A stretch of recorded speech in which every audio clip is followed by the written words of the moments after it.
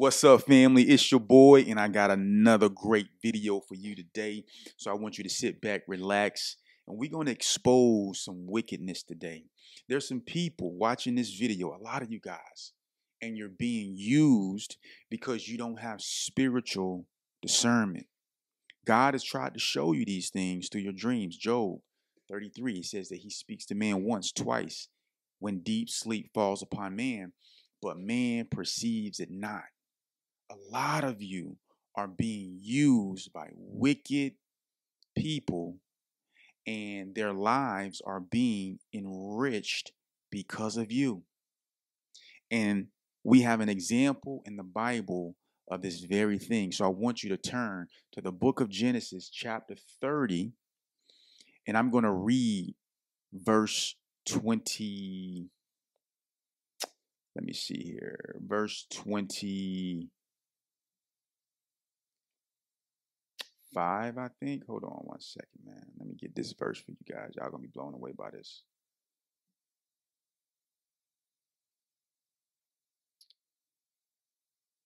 Okay, here we go. Verse 27. My bad. Verse 27. This is Jacob and Laban. Jacob, we all know the story of Jacob.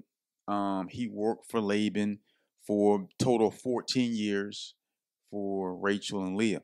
Okay, but here's what verse 27 reads out of chapter 30. It says, But Laban said unto him, Jacob, if I have found favor in your eyes, please stay. His oppressor wants him to stay.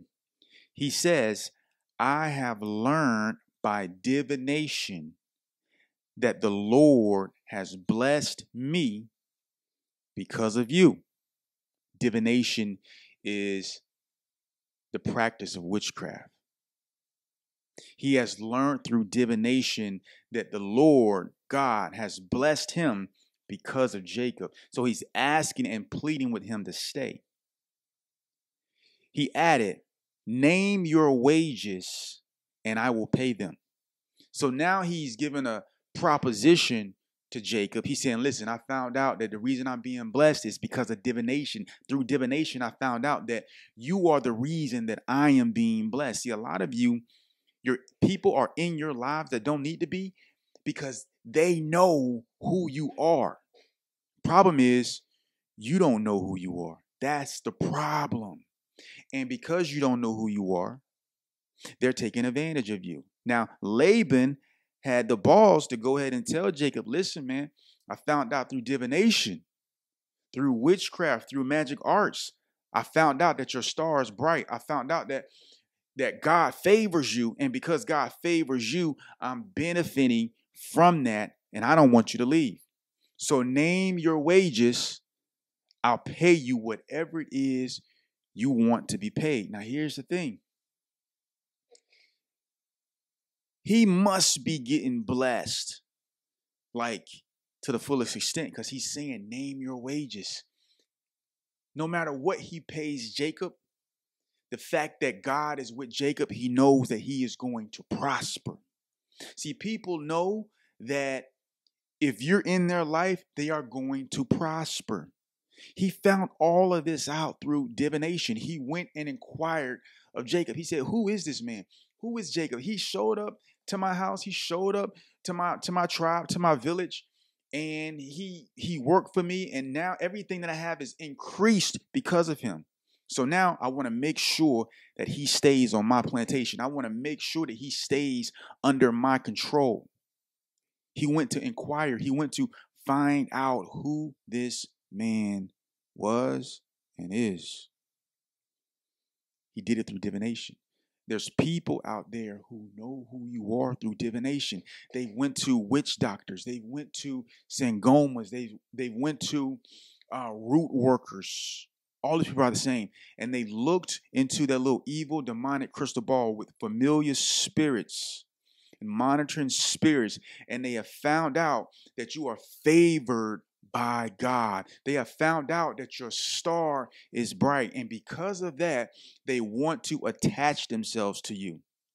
These are the people that secretly they hate you, but they need you around. They hate you. They hate you. And the, and the proof that they hate you is that they know something about you through divination and they're hoping that you never become aware of it so they can they can keep stealing and taking from you. This is their goal. This is what they want to do. They've sought you out through divination because they've noticed there's something different about you. A lot of times you guys got to really understand this.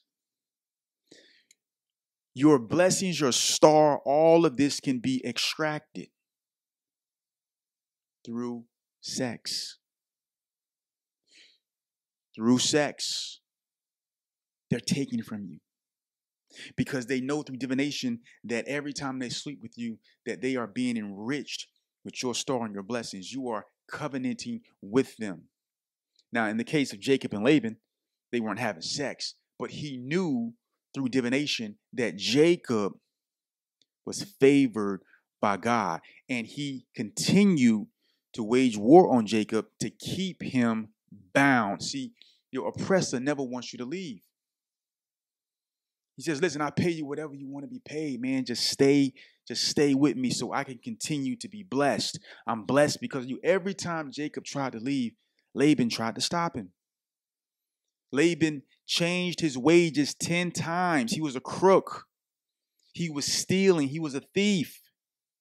He was trying to take Jacob's destiny. He was going to use Jacob till he could not be used anymore. A lot of people in your life are using you. The woman in your life, she's using you. The man in your life, using you. Through divination, they understand who you are. You don't know who you are. Why? Because you're too busy being nice instead of being spiritual. You're busy being nice instead of being spiritual. God is showing you over. The same person keeps popping up in your dreams over and over and over and over again. God is showing you, but you still, you still, you still dealing with them. You haven't cut them out of your life. You're still entertaining them.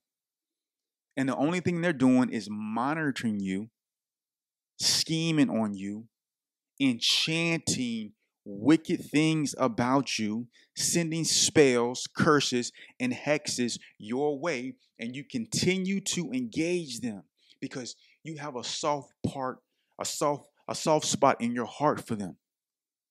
When they're out to kill you, they're out to take you, to destroy you. The Bible says that the devil comes to steal, kill, and destroy. This person is out to destroy you, bro. This person is out to destroy you, sis. God has shown you what the situation was, but guess what? You're not being spiritual. You're being nice. You're being naive when they're operating on a level spiritually much higher than you.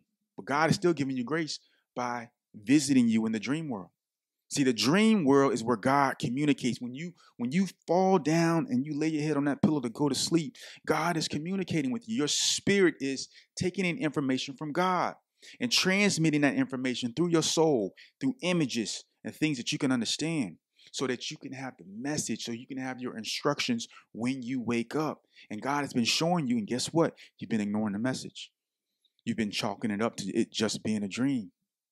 I'm telling you, you will never break free until you identify who these people are and you cut them off. You follow God's instructions to cut them off. There's some people in my life I had to cut off. I had to let them go.